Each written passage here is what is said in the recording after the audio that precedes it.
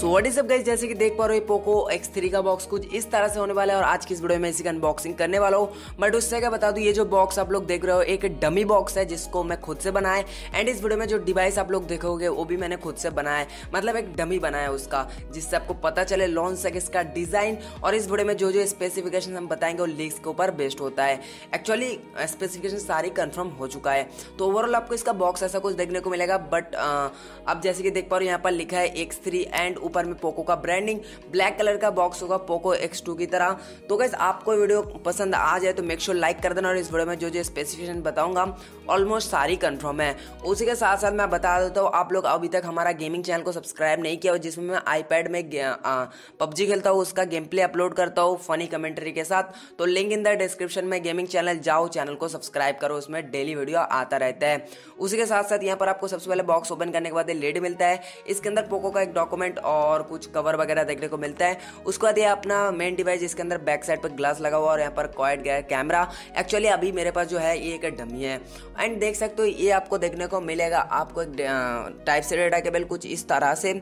Overall उसी के साथ साथ आपको 33 थ्री वाट का एक फ़र्स्ट चार्जर देखने को मिल जाएगा, जो काफ़ी बढ़िया है। बात है 33 थ्री वाट का तो आपका डिवाइस बहुत ही जल्दी चार्ज करके देगा। एंड ओवरऑल आप लोगों को डिवाइस का बैक साइड दिखाओ तो बैक साइड आपको कुछ इस तरह से देखने को मिलेगा।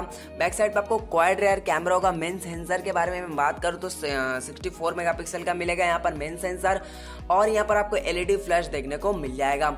और डिज़ाइन काफ़ी सिमिलर है मिसले पोको का सीरीज़ में।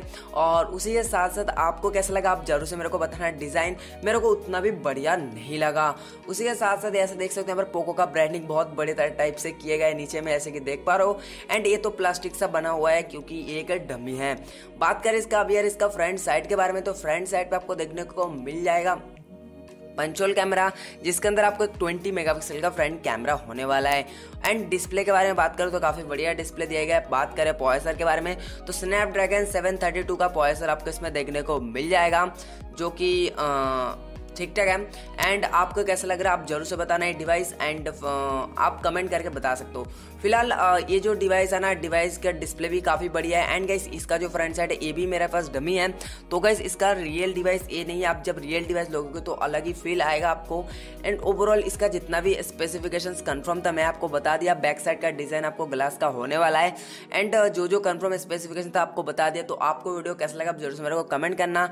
गेमिंग चैनल का लिंक डिस्क्रिप्शन में ज़रूर से सब्सक्राइब सब्सक्राइब करना एंड uh, मेरे चैनल पे बहुत जल्दी आईपैड सेवन जनरेशन का पबजी टेस्ट आने वाला है तो मेक श्योर sure उस वीडियो को देखने के लिए अभी से चैनल को सब्सक्राइब और बेल आइकन को अभी से दबा दो।